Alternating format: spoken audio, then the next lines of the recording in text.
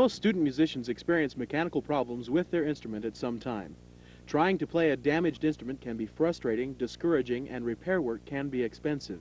In the next few minutes, we would like to show you how to prevent problems with your instrument by demonstrating some simple procedures and principles of instrument care. Research has shown that 80% of all damage to student musical instruments is caused by improper handling and assembly and lack of cleaning and maintenance. It is obvious then that you can save yourself up to 80% of the frustration, wasted time, and expenses associated with damaged and dirty instruments simply by learning to take proper care of your instrument. By learning to take, Take care, take take pride. Most musicians would agree that an ideal instrument is one that works properly, looks nice, is clean and sanitary, and will last a long time. You can have an instrument like this simply by following the CARE formula. C. Commit. Commit to take care, take pride. Commit to watch and listen to this videotape closely, and commit to learn all the procedures for your instrument. A. Ask. Ask any question you have about your instrument. If there is something you don't understand, ask your band director, ask your private music teacher, or ask a qualified repair technician. R. Repeat. Repeat consistently the daily, weekly, and monthly maintenance schedule as described in this video and on the care card for your instrument. Make a habit of consistently repeating the correct assembly procedures. E. Expert. Take your instrument to a repair expert whenever you have mechanical problems with it. You should take your instrument in for a checkup at least once a year to see if it needs professional lubrication and adjustment. Commit, ask, repeat, expert. The care formula is simple, but it can bring great results and make your band experience much more enjoyable. Now come with us and learn to take, Take care, take pride.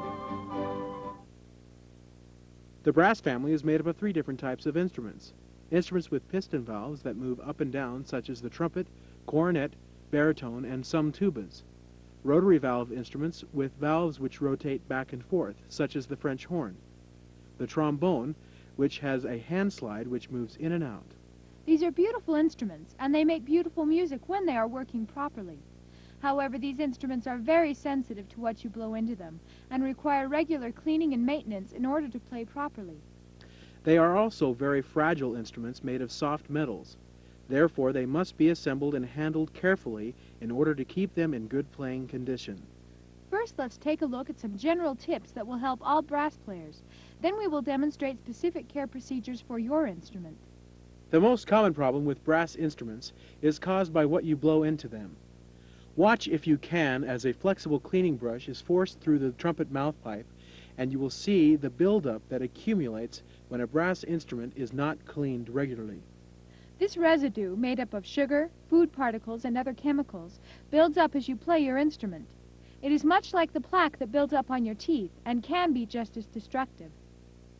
Several problems can result from plaque buildup in your instrument.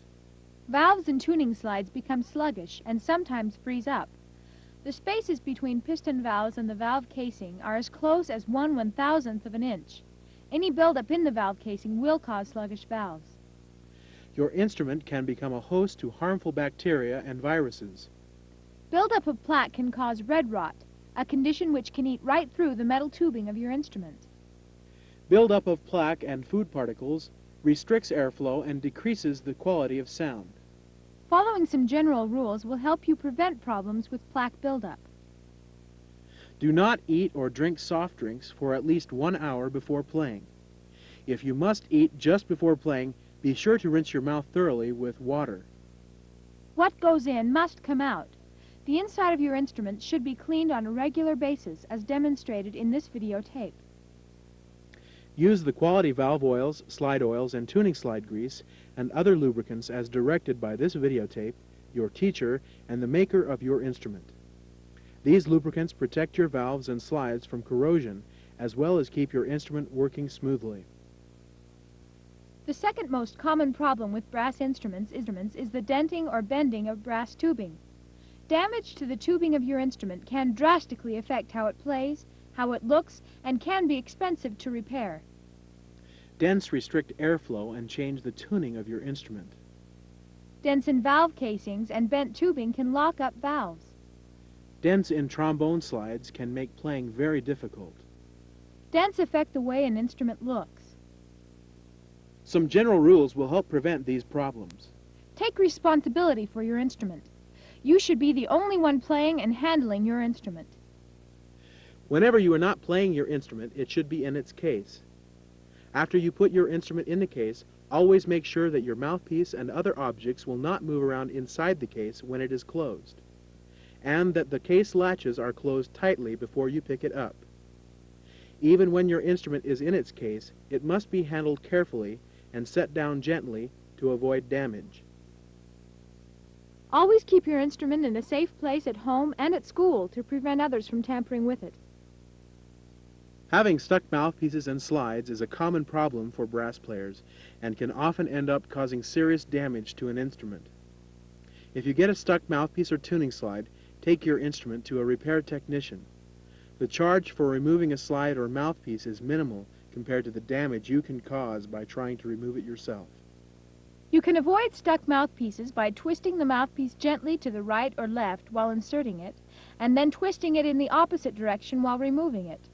Stuck slides can be avoided by following the maintenance schedule in this video and on your care card. Everyone likes to have an instrument that looks nice. However, everyday use of your instrument can destroy the bright finish. Natural acids from your fingerprints and perspiration will actually eat through the lacquer finish and cause silver plating to become dull and tarnished. You can prevent this by wiping these fingerprints off with a soft cloth and a little breath on a daily basis. Chemical brass polishes can damage the lacquer finish on your instrument and should not be used. Silver instruments, which have no lacquer finish, can be polished with a good quality silver polish once a year. However, fingerprints should be wiped off daily. We will now demonstrate proper handling techniques and the daily, weekly, and monthly cleaning and maintenance procedures as found on your instrument care card. With few exceptions, most of these care procedures for brass instruments should be done at home at a regular practice time and should not take up class time.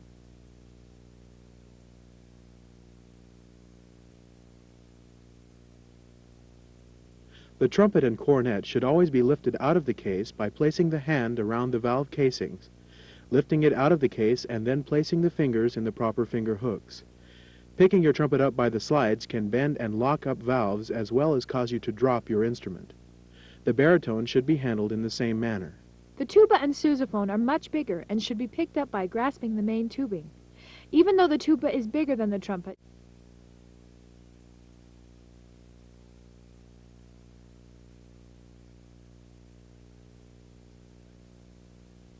The French horn should be lifted out of the case with your left hand grasping the mouthpipe and brace here. Place your other hand in the bell and lift the French horn out of the case. Then place your left hand in the proper playing position. the most popular rotary valve instrument is the French horn.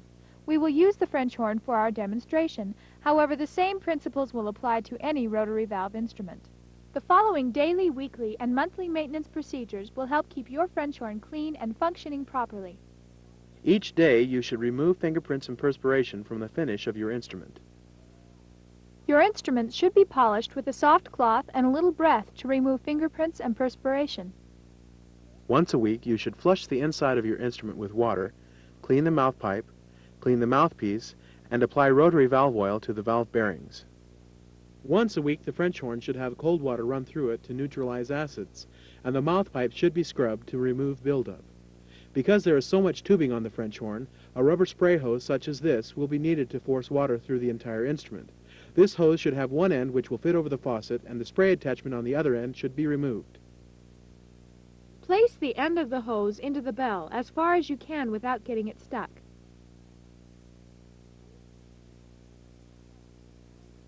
Run water through the horn. And depress each of the valves to allow water to run through all of the tubing.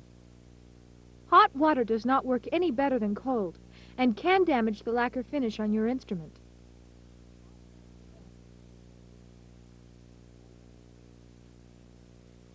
Scrub the mouthpipe thoroughly with a flex brush designed for your instrument.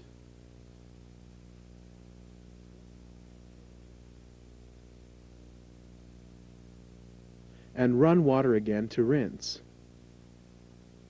Be sure to keep the water running until the water coming out of the mouthpipe is clean. All of the water should be emptied from the horn. Most of the water can be removed by rotating the instrument with the valves depressed so that the water will come out of the bell and the mouthpipe. Any remaining water can be emptied by removing the tuning slides and pouring the water out. Hot water does not work any better than cold and can damage the lacquer finish on your instrument. Be sure to thoroughly wash the bathtub after using it to clean your instrument. The inside of the mouthpiece should be cleaned using a brass mouthpiece brush and warm soapy water in this manner. Also with this weekly maintenance session, rotary valve oil should be applied to the valve bearings. There is an upper and lower bearing on each valve which must be oiled. The lower bearing is located at the base of the valve casing on the underside of the instrument. A few drops of oil should be applied at the joint between the valve casing and the stop arm. To access the top bearing, remove the valve cap and place a few drops of oil near the center where the metal parts meet. If the screw going into the bottom bearing has oil written on it, carefully remove the screw and place a few drops of oil in the hole and replace the screw. Do not attempt to remove the valves from the casings.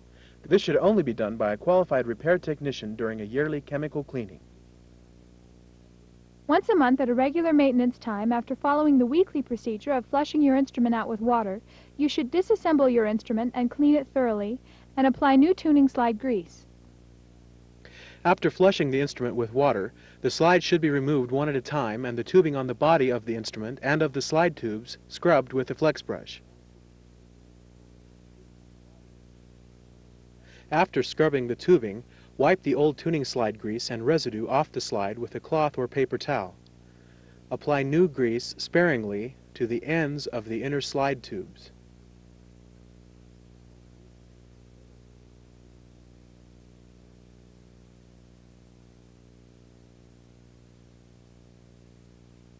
Replace the slide and move it in and out to distribute the grease. Repeat this procedure for each slide. Then run water through the instrument to rinse. After rinsing, remove the water from the tubing as shown previously and dry the instrument with a soft cloth to prevent water spotting. Playing in the band is a fun experience and one which can be a positive influence on the rest of your life. Trying to play an instrument that doesn't work properly only takes away from the fun of playing. Now that you have learned to take care and take pride, you can prevent most of the common problems with instruments simply by following the assembly and handling techniques and the daily, weekly, and monthly maintenance schedule shown in this program. You must decide whether you want an instrument that you can be proud of or an instrument that will give you problems. It's not a hard choice to make when you look at the benefits of taking care and taking pride. You can keep your instrument in top playing condition, prevent needless damage and repair bills, Extend the life of your instrument. Play more confidently, knowing that you have taken care and taken pride. Remember the CARE formula. Commit. Commit to take care, take pride. Ask. Ask any questions you have about your instrument. Ask your teachers or a repair technician. Repeat. Repeat consistently the care procedures daily, weekly, and monthly as shown on your care card. Expert. Take your instrument to a repair expert whenever you have mechanical problems with it. You should take your instrument in for a checkup at least once a year to see if it needs professional cleaning, lubrication, and adjustment. Good luck, and take, take care, take, take pride.